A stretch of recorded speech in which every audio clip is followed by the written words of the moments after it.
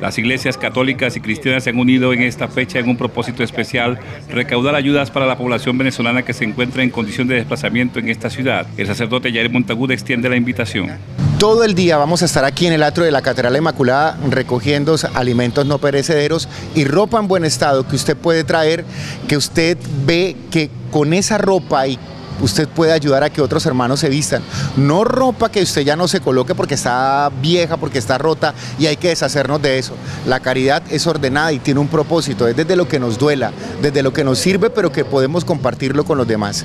Así que los esperamos hoy todo el día aquí en la catedral para que usted traiga sus donativos pensando en nuestros hermanos que lo necesitan. El religioso indicó qué tipo de ayudas pueden ser llevadas a la Catedral de la Inmaculada. Bueno, para que todos nosotros, unidos desde la solidaridad y del amor,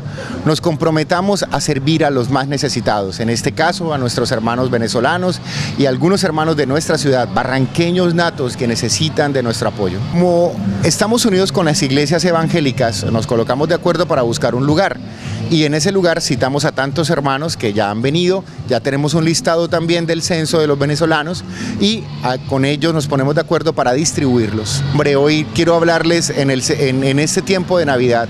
Navidad es una época de tener y la esperanza que nosotros vivimos en muchos momentos de nuestra vida, hoy la queremos hacer extensivas a usted para que llene de esperanza la vida de muchas personas que no tienen que comer ni que tienen que vestir en este tiempo. Llene de esperanza, pero también de alegría el corazón de muchos hermanos. Ayúdenos para que podamos ayudar. Hasta las 6 de la tarde de este lunes estarán recibiendo las ayudas de los buenos corazones de los ciudadanos de Barranca Bermeja.